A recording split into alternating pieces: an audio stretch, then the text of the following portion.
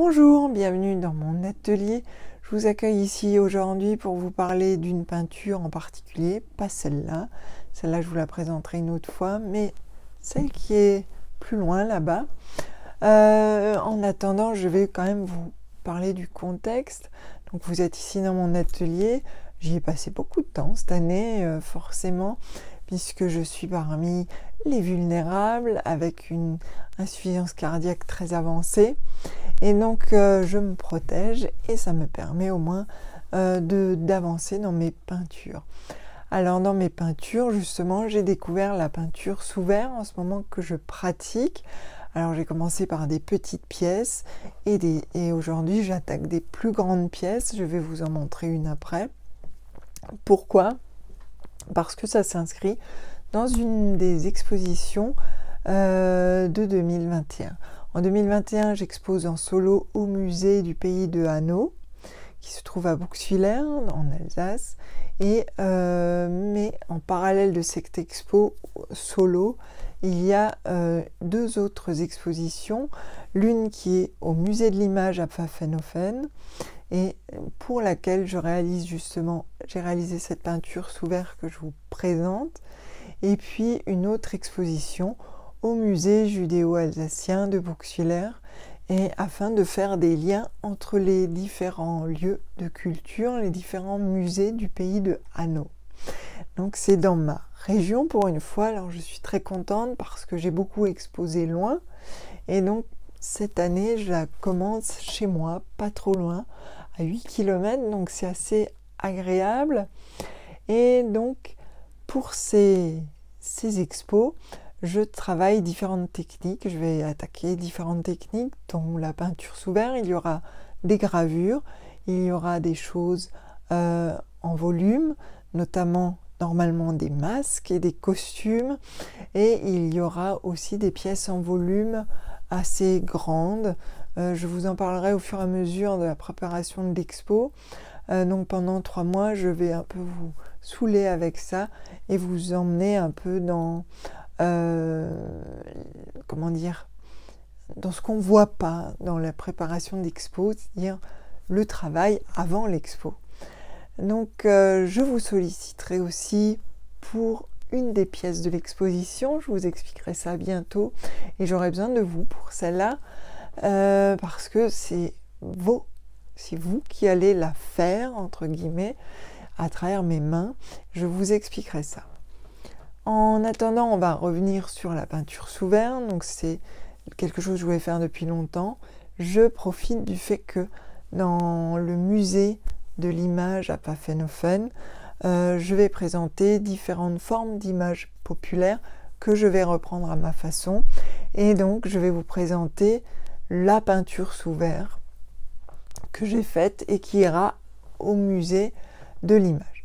Au musée de l'image, je présente des pièces qui ne sont pas en rapport avec l'exposition solo, c'est-à-dire pas dans, le, dans la thématique en tout cas, euh, puisque je présente des réinterprétations de faits contemporains à ma manière et de façon folk et populaire. Donc on va voir cette première peinture peut-être que vous allez mieux comprendre. Donc la peinture se trouve sous verre et tout est inversé, on peint directement sur le verre et puis euh, c'est protégé puisque la peinture se retrouve du coup euh, à l'arrière du verre et du reste, ça reste euh, fragile puisque le verre, ce n'est pas non plus quelque chose de facile à transporter. J'aime bien les challenges. Donc je vais vous présenter cette peinture sous verre on va y aller. Je vous retrouve tout de suite. Donc voici le tableau que je vais vous montrer. Alors je manque un peu de recul dans mon atelier parce que euh, il est petit. Voilà, il est encombré. Voilà. Et puis c'est dans un salon. Donc ici, ce premier tableau. Alors, cette peinture sous verre, elle fait 50 sur 70. Elle parle des Black Lives Matter, donc des protestations euh, qui, ont eu lieu cet été à travers les États-Unis pour les droits des Afro-Américains. Euh, ici, on voit d'ailleurs des, euh, des protestants, des, militants ici avec le, point levé. les chaînes qui se brisent et l'arbre de vie. On espère que l'arbre de vie va porter ses fruits. Au-dessus, ici, le personnage principal, c'est euh, est inspiré de Brianna Noble, qui est une, euh, cavalière. On l'appelait The Equestrian euh, pendant les, manifestations. Et donc, elle porte cette cape avec le drapeau américain et on retrouve l'aigle. Et donc, elle était très impressionnante sur les photos avec son cheval qui se cabre au milieu de la foule. Euh, c'est une euh, image qui m'a marqué. J'avais envie de la mettre moi-même en image dans ce tableau.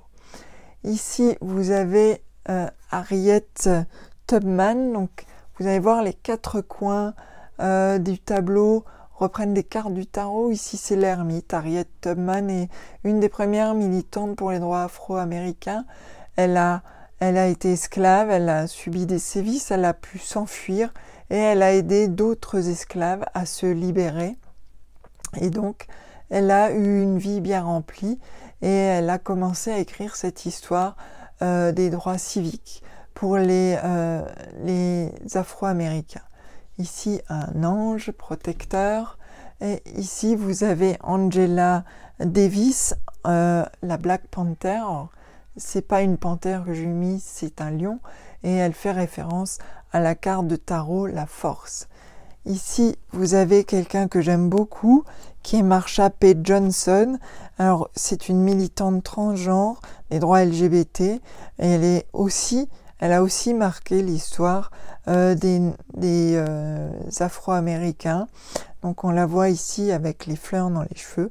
Et Marsha P. Johnson a donc aussi marqué l'histoire de la lutte pour les LGBTQI et puis euh, tout ce qui est droit aussi des personnes séropositives. Donc c'est quelqu'un de très important sur le plan de l'activisme. Et enfin, ici vous avez Rosa Parks qui est dans le, chariot. Alors j'ai oublié de dire que Marsha P. Johnson c'était l'impératrice. Et ici le chariot avec Rosa Parks, donc celle qui a refusé de euh, céder sa place dans un bus et celle qu'on appelle euh, la mère du mouvement des droits civiques. Voilà.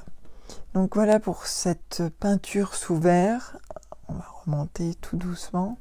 Celle-ci sera donc présentée au musée euh, de l'image populaire à, Pfaffenhofen et je vous retrouve tout de suite voilà donc pour cette présentation avec la main qui tremble de ma peinture sous verre, cette première peinture euh, qui ira donc au musée de l'image populaire. Je vous présenterai des pièces plus grandes. Il y aura aussi Titan, celle qui fait 4 mètres de long, euh, que vous pouvez déjà retrouver sur YouTube. Donc vous pouvez déjà trouver l'explication ici sur YouTube. Euh, il y aura la danse de Strasbourg qui parle de la danse hystérique de 1518. Euh, je ne sais plus si je l'ai déjà présenté sur YouTube. Si c'est pas fait, je le ferai très bientôt. Et donc, euh, je vous parlerai de cette préparation d'expo au fur et à mesure. Et j'espère que vous suivrez avec peut-être un peu de plaisir euh, cette préparation d'expo, comme moi je prends plaisir en tout cas à la faire. Et puis, je me réjouis pour vous accueillir en en 2021 pour ces expos.